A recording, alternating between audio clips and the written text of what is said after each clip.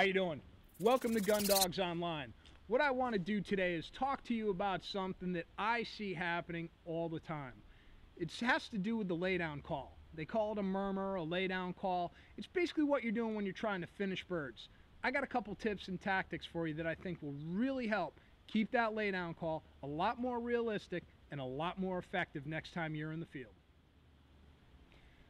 The first thing I see happening is when people are bringing in birds, they're really excited, they're blowing that call, they're doing all their clucks, their moans, all that kind of stuff. When the birds are committing, they shut it down. They drop right into a laydown call. And that's not what happens. Nobody goes into that flock and actually throws a switch and says, okay, go from excited to go to a laydown call.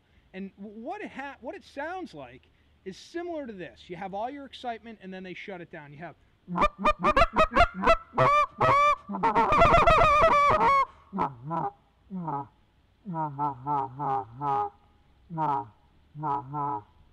Okay? And it's like somebody throws a switch from all those clucks right into the murmur or a laydown call. That's not what happens. I want to give you something here that I think is really going to help you out.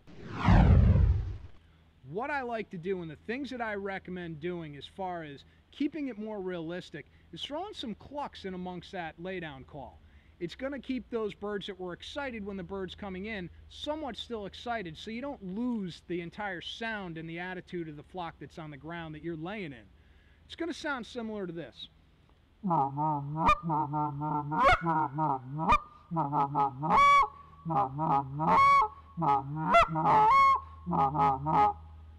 What that's doing is it's keeping the attitude alive. It's keeping that realism there. What that can do also is it's going to increase your ability to control those birds if they try to slip away. This is my example of how I recommend controlling those birds. If they're cupped and committed and all you're doing is figuring out how you're going to cook them that night and they start slipping away, this is how you can kind of roll a little bit more excitement into that laydown call and not have that drastic difference in the attitude of the overall flock. Uh-huh. Uh-huh. Uh-huh.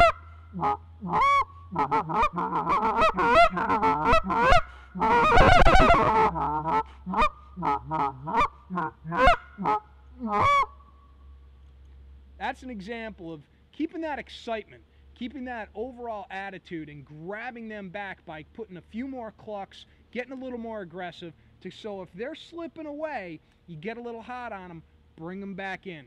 Keep that interest involved in your calling. So to practice this call, the lay down portion of it is just basically a into the call. Sounds like this. Then you just add your clucks randomly, no specific time.